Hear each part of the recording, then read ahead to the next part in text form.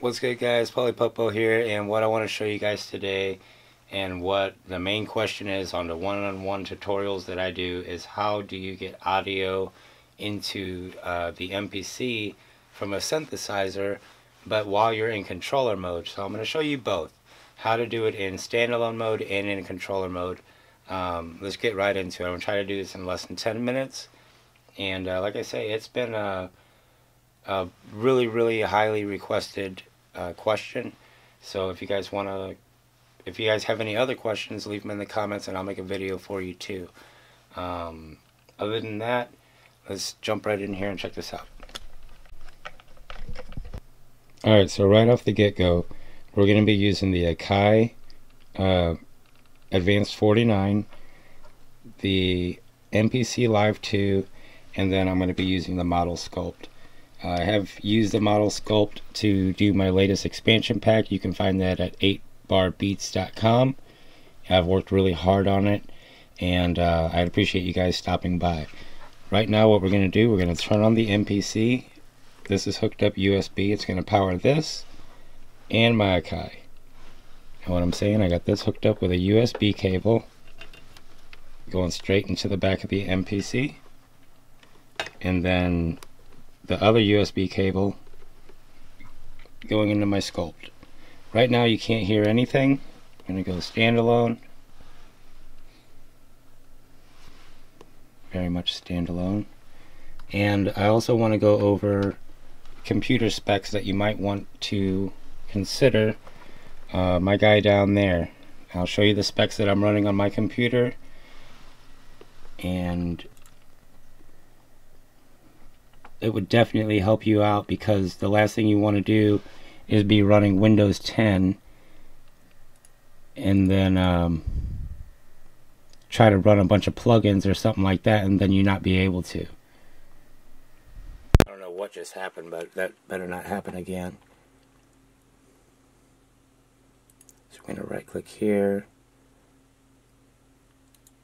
go to system. This kind of what to be looking at whenever you're doing your system. These 16 gigabytes, these specifications will definitely run your MPC uh, software very, very smooth. So what we're going to do here is go ahead and open up my MPC software. So you got empty project. We got an empty project here. And I'm going MIDI out A. MIDI out A. And that's going in to my Modal Skulpt. So anything that I my MIDI channel right here.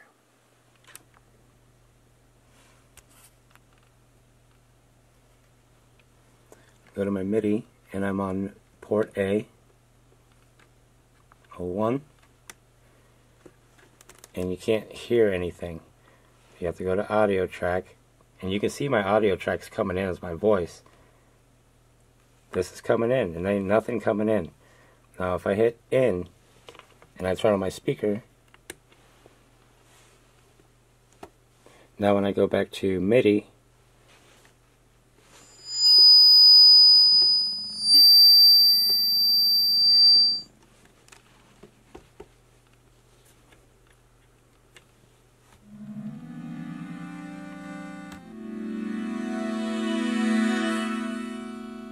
Gotta make sure that's set in. MIDI A.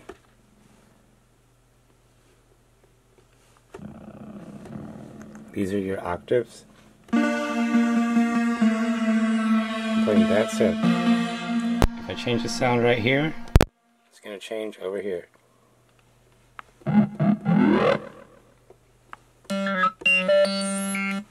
Right on guys, I really hope that helps. Um, when you're in controller mode, what this is going to do is going to bring you up here. I need you guys to see this. It's going to bring you here, and the first thing you do is you select your ASIO. Um, the MPC Live 2 drivers aren't working for me, so I'm using uh, my Fruity Loops driver. As long as you hit this and you get and you get sound, you should be fine. And your MIDI sync and all that, let's put this in here in controller mode.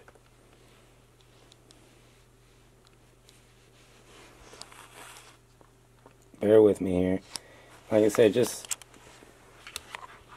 I don't like to use controller mode at all. I can't stand using controller mode, but it is the other half of your MPC. So you got master, I click all this on, okay? I want my advanced, all this stuff pops on. Right now it's all off. Click it all on, turn these on, make sure your audio is ASIO Fruity Loops. You hit test, you get a sound, you're good. So I have headphones on right now, but just to show you, I'll unplug the TV and when I hit this it shows that I'm hitting it right and the little meter's jumping but I'm still not getting any volume. What you need to do is go over to your audio track.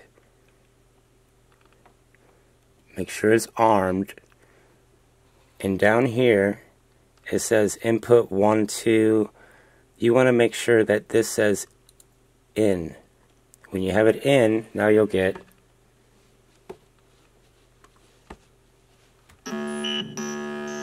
you'll get your sound.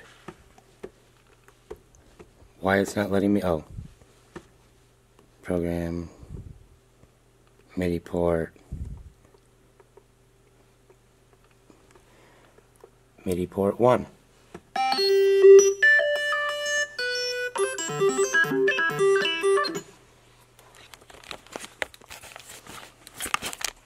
I hope that helped. But uh, let me mute this. I got so much stuff going on, guys, but I just had to make a quick video about that. Um, I just got a new computer. Read the specs on that because you're going to want to get... It's in the price range, okay? The MPC Live, I've honestly, I've had so many issues with it that um, I, I kind of like it, actually. I don't... I, I don't mind it one bit, but if you're just getting into music and you put it into software, like whenever you're looking for your sounds, they look like this.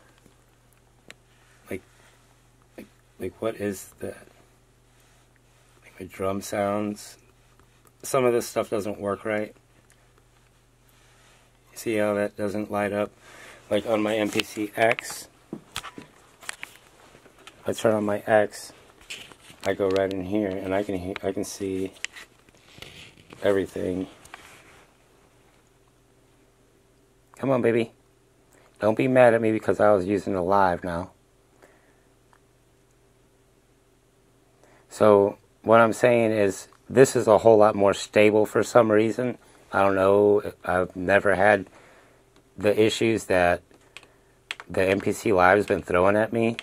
Like, even right here, the square. See how it's. It highlights it, right? the F9 expansions, all that stuff, these preview, on my live, they look like this. And when I hit my buttons, they don't preview. I'm saying it's so weird. But, uh, you know, it's just, the sounds are still there. It's just a little weird. It's weird. But, like again, I said, I use mine as standalone. I go back into standalone mode. Remember, just click your AS, uh, ASIO drivers and you'll be good. These arrows, file, edit, preferences, and if you're looking for your plugins, here's where you find those too. But your audio, ASIO, I use Fruity Loops ASIO, it works better for me.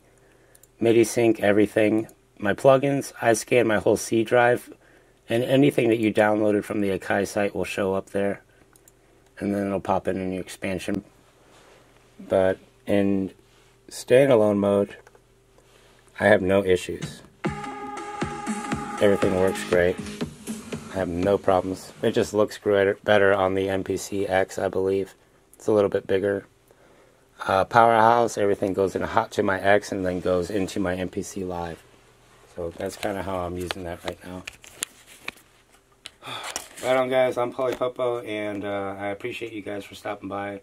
And again, I just wanted to drop that video real quick because uh, it's important, and a lot of people want to know how to hook up their external synths. So there you go.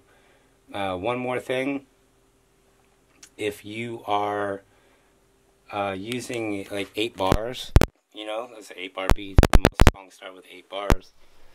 Um, you know, just when you when you see your audio files and everything, you see uh, when you bounce down to audio, if you instead of put eight bars, put it to 64, and it'll allow you to uh, arrange it a little bit easier. Me, I copy my sequences. I don't draw them out like that, but I'll get into that in another video. But this one, I just wanted to make sure you knew how to get sound out of your MPC and how to get sound out of your MPC software. But um, I'll talk to you guys later.